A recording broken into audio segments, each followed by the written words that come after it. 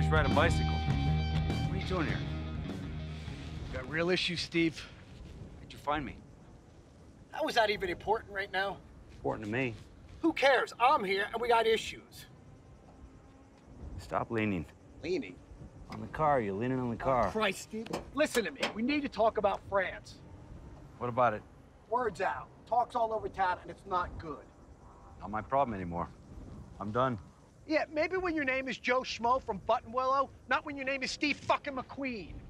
Cinema Center reps are not happy, Steve. So what's the brass tacks? They want you to do press. No. Steve, Look, the point was to make a good film, a real film. people like a story, Steve. They like characters. You were shooting a two-hour documentary about a car race that no one in America cares about. We'd have made them care. The suits thought different. I'm done with it. Fine. I'll go back to Rosa with that. But it's not gonna go down too well. And it still doesn't change where we are now. We have to do some damage control. Damage control? Bill called me. Ah, son. We're your team, Steve, all right? If we don't communicate, this doesn't work. We're not the enemy. Just let us do our job.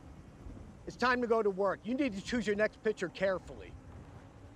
I'm doing it on any Sunday with Bruce. The motorcycle thing? No, that's a vacation. You need a paycheck.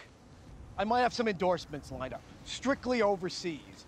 But our top priority has to be your next gig. Something that puts you back on top. Have you thought about what I said about first artists?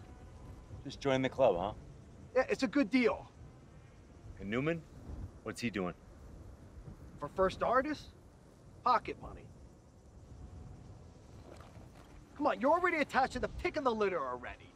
Junior Bonner, the getaway, that French prison thing. Just pick. Ah, just pick, huh? Yeah.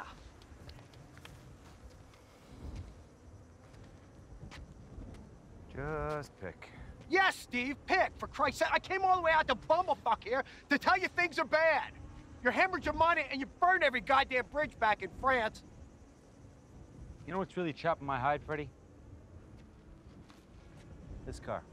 Who cares? They come and go with you, Steve. Yeah, Warner Brothers gave it to me. A gift. It's a beauty. Yeah, there's just one problem. What's the problem, Hank? Not the car. Not the car. What car? The car. Oh, Christ. Look, this is a pacifier, I- I- an imposter. The car was a 1968 GT390. 325 horsepower, 427 foot-pounds of torque, a real power plant. Had a four-speed manual transmission, too. What, what else, Hank? Dark Highland Green. Dark Highland Green. Who cares? Are you blind? Listen, this is a 67 302 Boss prototype. It's no GT390.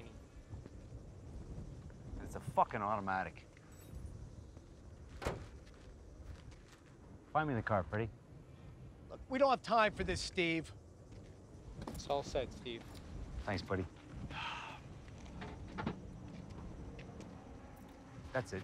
You find me the car, I'll pick my next project. Look, that's gonna be impossible. I need it, Freddie. Blink if it's a yes.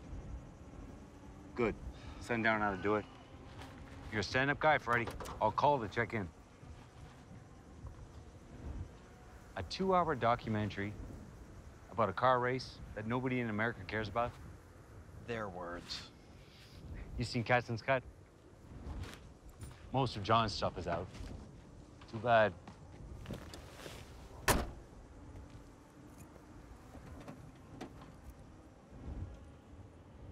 Be reasonable, Steve. Freddie, I hired you to be a barracuda. Are you a barracuda? I'm a barracuda. Right. Find the car. Adios.